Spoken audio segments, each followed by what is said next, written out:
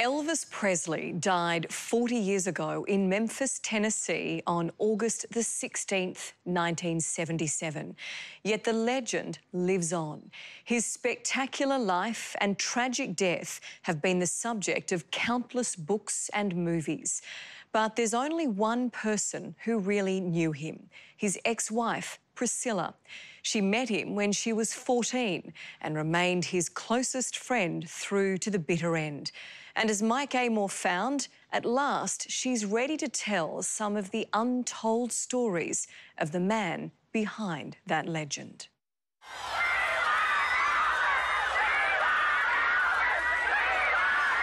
It's one for the money, two for the show, three to get ready. Now go, cat, go, but don't you step on my blue suede shoe. One thing about Elvis is he was authentic.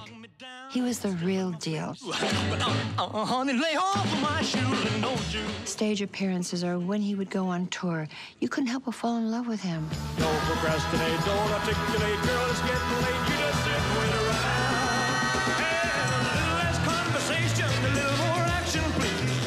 He just seemed to have it all. He was every general soldier. He was every son to every mother. I mean, he just connected. He connected. Well, that's all right, And no one was as connected to Elvis as his wife Priscilla. That's all right. That's all right. She was with him for the best times and witnessed the devastating lows. Now, 40 years since Elvis died, Priscilla is celebrating their life together at their home, Graceland, It's now or never. sharing her most precious memories. I walk in that front door. I just feel his presence here, and this being the room that he would play gospel music in. I'd sit over here on the couch. I had him all to myself and uh, listening uh, to his music. I liked all different types of music when I was a child. Well, Lordy, Lordy, Lordy, Country music and gospel and rhythm and blues. to me. I was influenced by all of that. Well, please don't excite me, baby.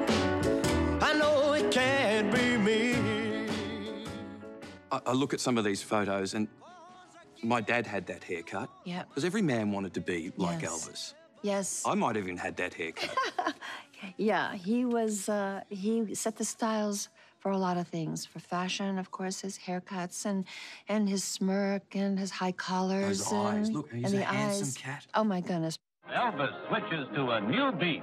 Up, two, three, four. I got to up to Elvis's attraction to Priscilla was immediate, but their love story was unconventional.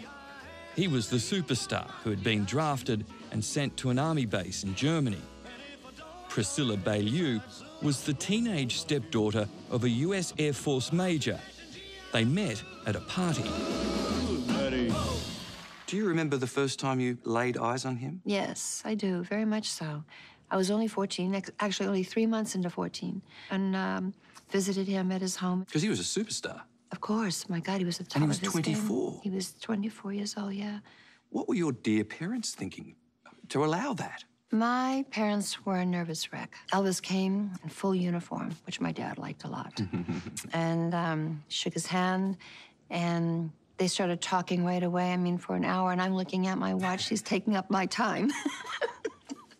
but yes, they were nervous, and I think it was when I told my parents that they had to let me go, or they would ruin my life. Love me tender, love me sweet, never let me go. After a seven year courtship, Elvis and Priscilla finally walked down the aisle. Complete. Then along came daughter Lisa Marie. They were the most famous family on earth. Love me tender, love me true. Thank you. Never let me go. You have made, how dear, my turn blue, and I love you so. We see him performing on stage with Love Me Tender. I mean, he spent more time kissing women in the Yes. crowd on the lips than Oh, he yeah. did singing. I mean, was that difficult to watch? Um, yeah, because they'd start showing up after the show. Bet they did. I'm kind of hanging out, waiting around for possible more. But if you're gonna start a rumble, don't you try After four years of marriage, Priscilla decided she would no longer put up with his infidelities. Well, I'm evil, so don't you mess around with me. you know, he wasn't faithful. Not that he had someone special, but when you're in the entertainment business, there is always that. And I tried to to turn my back to that, but I just didn't want to share him. Simple as that. As much as he wanted to be married and have a family, I don't know if he was ever cut to be married because I don't think he could ever ever be faithful to one woman. This time the girl is gonna stay for more than just a day. Even though Elvis and Priscilla were divorced, they remained as close as ever. There were other women, but Elvis never remarried. For more than just a day. I just can't help believing. We never lost our friendship and care for each other. He would call me at night. I really valued his calls. I valued him telling me, you know, what was wrong and and I haven't really said this because I I I value his trust in me so much. But living a lifestyle of rock and roll, it's difficult. It's and especially rock and roll because it's that old saying, you know, sex, drug, and rock and roll, and it is it is there. He was living that life. They all did. The, uh, Straight vodka, man. Like about three minutes before you. Maybe I didn't treat you quite as good as I should have.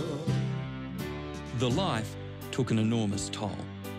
Close friend Jerry Schilling saw Elvis's decline firsthand, fueled in his final years by an addiction to prescription drugs. He had to numb himself to go out and do some of this stuff that he did not want to do. It was a really rough time. Time And when I saw this CBS special that they filmed six weeks before he died, and I was watching it in my home that he had bought for me by myself, I cried and then I got angry. I need your love. Could anyone have saved Elvis? I need your love. No, only Elvis could save Elvis.